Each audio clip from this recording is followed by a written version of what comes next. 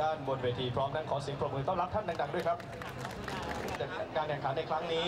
ซึ่งประเทศไทยของเราก็ได้รับเกียรตินะครับ เป็นอันสูงส่งและยิ่งใหญ่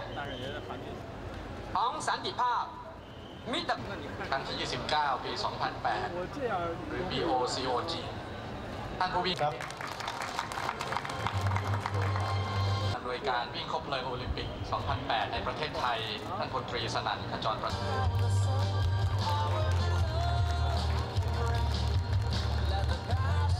ติกอันโชดช่วงมาแล้วนะครับมาส่งมาให้ท่านทูตนะครับ แล้วก็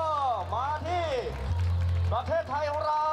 ผู้ที่มีบทบาทสำคัญอย่างยิ่งนะครับเป็นผู้วิ่งไม้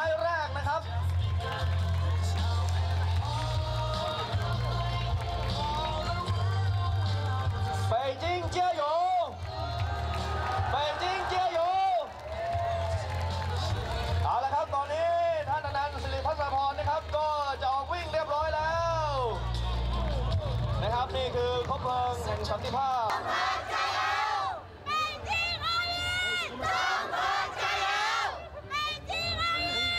ตามล่าไปเมื่อกี้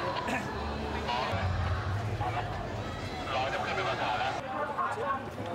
ร้อนเกิดในตัวตัวเฉยๆตาคนละหมาคนแก่ครั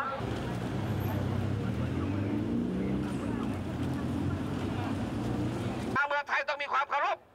เคารพในเจ้าที่บ้านเมืองเดี๋ยวเดิน เออถือคบเพลิงมาเดี๋ยวมันก็มาตีกันตรงเนี้ยก็ใจเ